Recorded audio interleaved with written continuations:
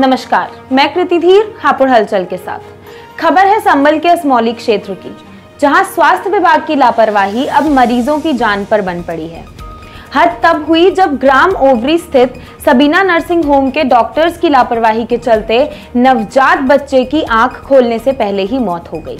आपको बता दें कि थाना असमौली क्षेत्र की ग्राम चंदबाड़ निवासी महिला को डिलीवरी पेन हुआ था और परिजन उन्हें पड़ोसी गाँव के निजी अस्पताल ले गए। अस्पताल में डॉक्टरों ने महिला के इलाज में लापरवाही बरत दी, जिसके चलते उनकी हालत काफ़ी गंभीर हो गई। हालत बिगड़ने पर आरोपी चिकित्सक ने महिला को दूसरे अस्पताल रेफर कर दिया, जिसके बाद परिजन महिला को लेकर जनपद अमरोहा के जोया स्थित अस्पताल में ले गए, जहाँ महिला ने एक मृत बच्चे को जन्म दिया। ऐसा होते ही परिजन वापस गाँव के अस्पताल पहुँचे और खूब हंगामा खड़ा किया। हंगामा देख आरोपी मौके से फरार हो गया और इसी बीच सूचना पाकर थाना पुलिस भी वहाँ पहुँच गई।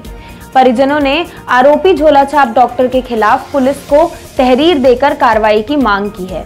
वहीं सीएमओ डॉक्टर अमिता सिंह ने बताया कि सबीना नर्सिंग होम को सील कर दिया गया है।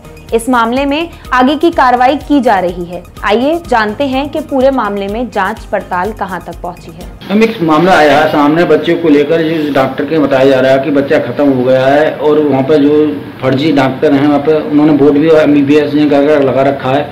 तो क्या है पूरा मामला बताइए।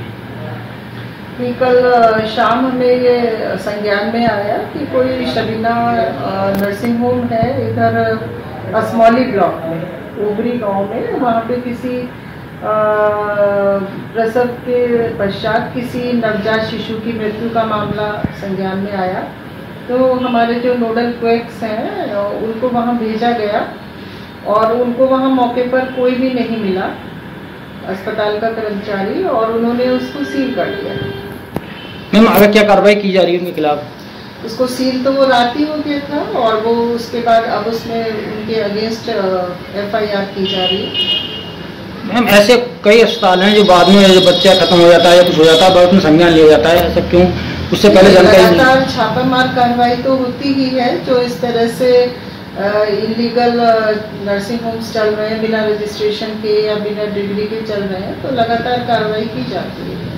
धन्यवाद। ऐसी और खबरों के लिए जुड़े रहिए हापुड़ हलचल के साथ।